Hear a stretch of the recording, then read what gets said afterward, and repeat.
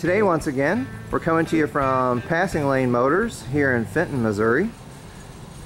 And I thought you might like a look at this 1980 GMC pickup. And this one's a bit of a hot rod, so I thought it was worth taking a look at. And you'll see why in a minute here when we take a look under the hood. Up front here, it's looking pretty stock with a nice big chrome bumper there. The GMC badging right here in the center of the grille. The paint's looking slick on this one. Very nice. It's right on a nice set of the GM wheels with trim rings. It's a BF Goodrich tires. And you can see those are fairly new tires on there. All the glass and trim is looking good. Mirrors look like new. Here we'll take a peek inside. Still has the original style door panels on there. Just manual windows. We've got a nice set of leather seats in here. And you can see it's a split seat design. We got basically a tall back bucket on either side there with this middle seat between. And of course the seat back will fold down on that one.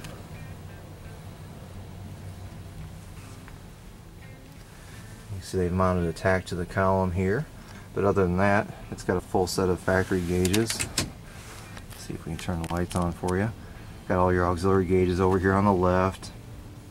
And then a 100 mile per hour speedometer there with a big uh, gas gauge to the right. You got your heat and air conditioning controls. It is an automatic on the floor. Promatic shifter on there from Hurst. But it's looking nice. Dashboard's nice and smooth, no cracking or anything.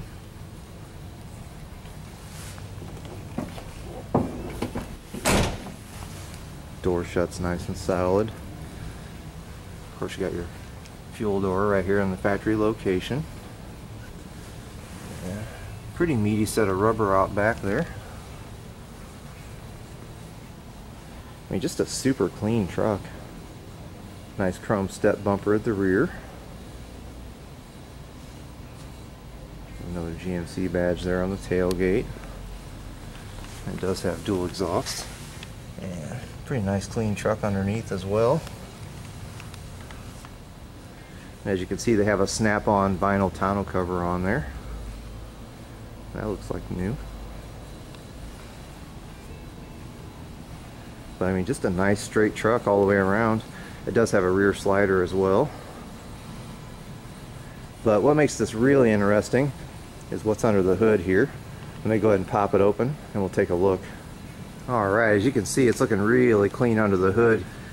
And this one will actually surprise some people at the local car show, that's for sure. Uh, what we're looking at here is actually a Mondello built 455 Oldsmobile. And if you know anything about them, you know they get some serious power out of these engines. You can see it has the Rocket 455 air cleaner up top there. It's got a Demon 4 barrel carb on an aluminum intake. Nice chrome valve covers. Of course a set of headers on there. But uh, the 455 is pretty much a torque monster right from the factory. But when Mondello gets done with them, they definitely run super strong. The nice thing about this one, as you can see, it still has AC on it as well. So I mean, you still got all your creature comforts and everything. And the installation is really top notch. I mean, it looks like it's factory installed practically. Very nice. Back there in the corner, you can see it does have an MSD ignition box. But uh, definitely done the way you'd like to have one, that's for sure. And I'm sure it screams down the road pretty good. We'll fire it up for you in just a second here so you can hear what it sounds like.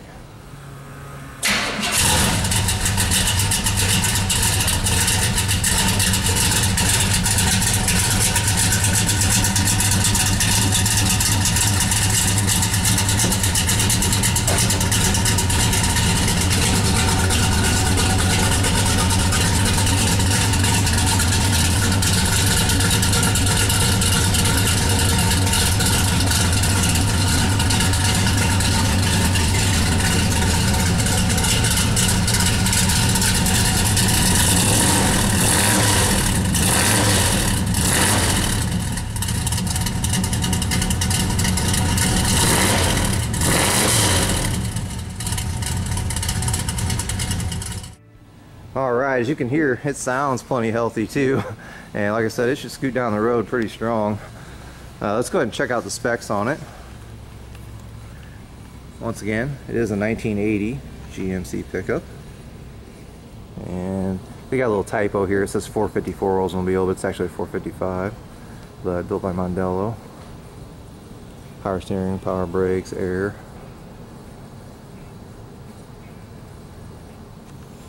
But, uh, I mean, just a beautiful truck all the way around. And I definitely thought it was worth taking a look at. But as always, we appreciate you watching and commenting and everything. And we'll see you later. Bye.